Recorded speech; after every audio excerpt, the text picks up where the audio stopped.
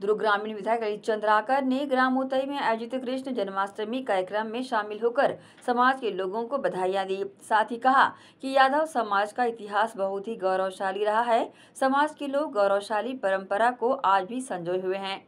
दुर्ग ग्रामीण विधायक ललित चंद्राकर ने ग्राम उतई में आयोजित कृष्ण जन्माष्टमी कार्यक्रम में शामिल होकर समाज के लोगों को बधाई दी। साथ ही कहा कि यादव समाज का इतिहास बहुत ही गौरवशाली रहा है। समाज के लोग गौरवशाली परंपरा को आज भी संजोए हुए हैं।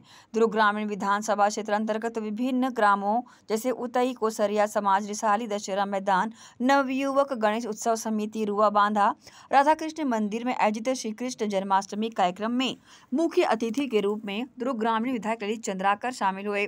और भगवान श्री कृष्ण लड्डू गोपाल जी की विधि विधान से पूजा अर्चना की और आशीर्वाद प्राप्त किया। इस दौरान उन्होंने क्षेत्रवासियों के सुख, शांति और खुशहाली की कामना दिल से की।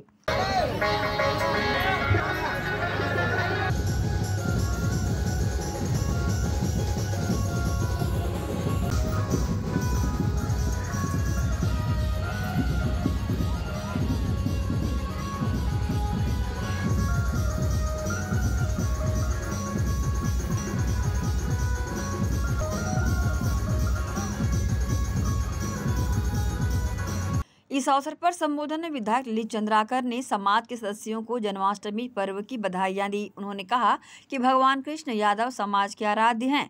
समाज द्वारा आज श्री कृष्ण जन्माष्टमी के अवसर पर सुंदर शोभा यात्रा का आयोजन किया गया है।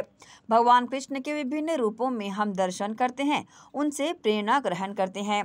छत्तीसगढ़ में हमारा उद्देश्य सभी समाजों को बढ़ावा देना है। प्रदेश के निर्माण में सभी समाजों की भागीदारी हो।